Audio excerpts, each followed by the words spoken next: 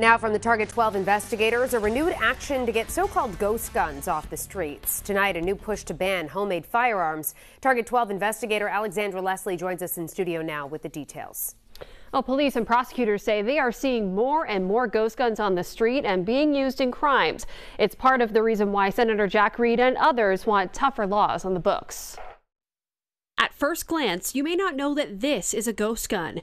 It was seized as evidence in a 2021 murder case where a 24 year old Rhode Island woman was killed. If you look at our gun report from last year, 6% of, of our cases involved uh, a ghost gun.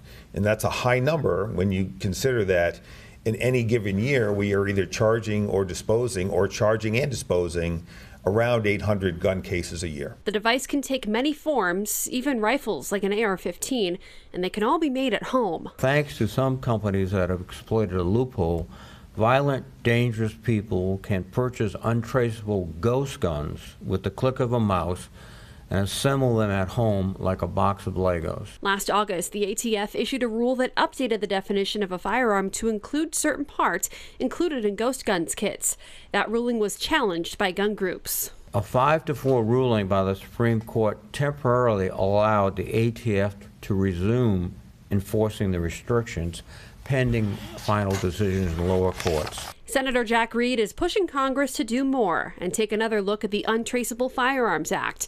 It would require the sellers of ghost gun kits to comply with federal regulations around gun safety, which includes background checks. It would mandate that unfinished frames and receivers which make up the core of the ghost gun, be added to the definition of firearm in federal law. Reed says the bill would also require sellers of ghost guns to have a manufacturer's license and include a serial number on the frame or receiver. And this bill would make permanent the ATF's rule so that future administrations cannot bow to the pressure of the gun industry to roll back these important reforms.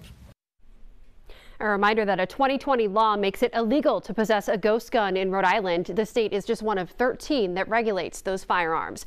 With the Target 12 investigators, Alexandra Leslie, 12 News. Thank you. Now from the Target 12 investigators, after the U.S. Supreme Court temporarily revived the Biden administration's crackdown on so-called ghost guns last month, lawmakers are pushing to put those rules into law. Target 12 investigator Alexandra Leslie joins us now live in studio to tell us how one Rhode Island senator is involved. Alex? Well, for the last three years, Rhode Island has been taking a closer look at ghost guns. A 2020 state law made it illegal to possess them. And now Senator Jack Reed wants to make tougher laws at the national level.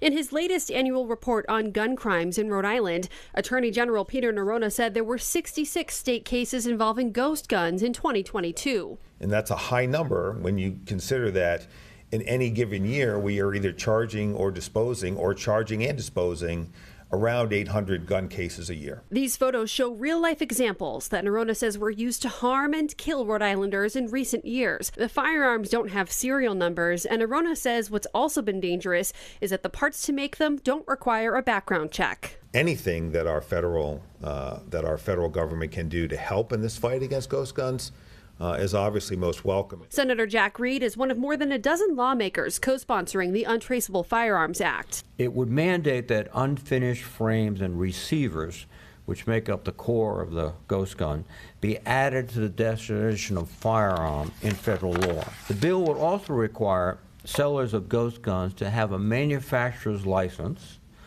include a serial number on the frame or receiver in each kit, and take steps to ensure purchases of their products undergo a background check.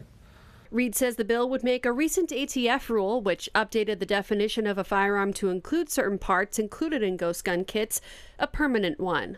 Anyone can get a weapon without any controls, and that I think is a, a, an outcome that we, we must seriously prevent.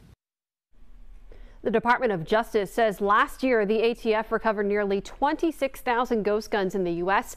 and nearly 2,500 through international operations. With the Target 12 investigators, Alexandra Leslie, 12 News.